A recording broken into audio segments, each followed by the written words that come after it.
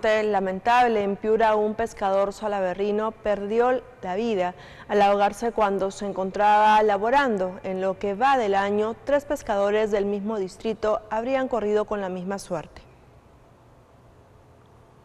Como todos los días, Paul Cernaque, pescador salaberrino de 35 años, ingresó al mar para realizar lo que mejor sabía hacer. Sin embargo, nunca imaginó que perdería la vida. Esa embarcación venía navegando para acá, para la zona sur, entonces, este, nada más que había un solo, un solo, un solo, un solo ahogado y el resto de gente se ha salvado, Dios gracias. Su centro de trabajo era Puerto Salaverry, él tiene años trabajando acá.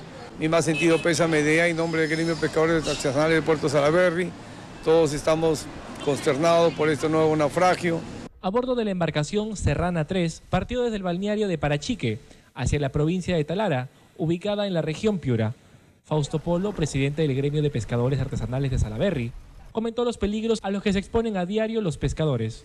El pescador arriesga su vida, sabe la hora de salir de Sarpe, pero no sabe si va a regresar.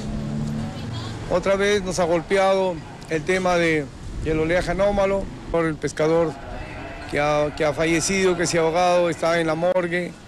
Ya el señor César Quito está haciendo todas las gestiones para poder sacar el cuerpo de la morgue y darle su cristiana sepultura. Según Fausto Polo, en lo que va del año, tres pescadores alaberrinos han perdido la vida al navegar. Por eso, pide al Estado que se les otorgue un seguro de vida y así, en caso de que ocurra una tragedia, no dejar desamparados económicamente a sus familiares. Siete de la noche con 40 minutos nos vamos a una breve pausa comercial. Efectivamente, Susan Paulo.